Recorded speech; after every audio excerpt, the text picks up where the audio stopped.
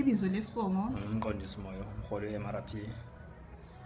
um nithini ngalokho kwenzakalayo ukuthi amapholisa aseqalile ukuvota eh kuyasidanisa kakhulu sinanzela ukuthi izek izanu PF sihle yaqala ukuriga ama elections kakhulu sinanzela lokuthi izek eyophethe ezokhetho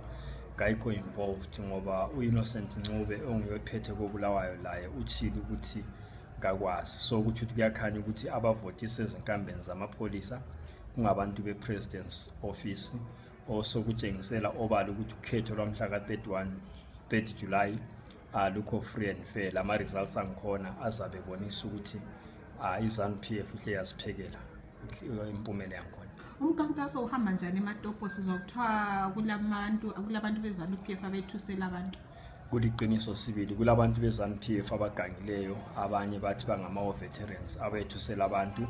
besithi nxa bengavotelanga eh, izanupf bazaxotshwa eh, emizini yabo baxotshwe kumhlabathi yabo bayelahlelwa katshana kodwa thina njenge-mrp sithi hhayi abakwenze khona lokho sizahlangana labo kuground especially bona laba singamawovethi babengalweli ukuthi kuvotelwe izanupf kwakulwelwa ukuthi amaphathi wonke abe lenkululeko efananayo njalo bekhankase bengethusela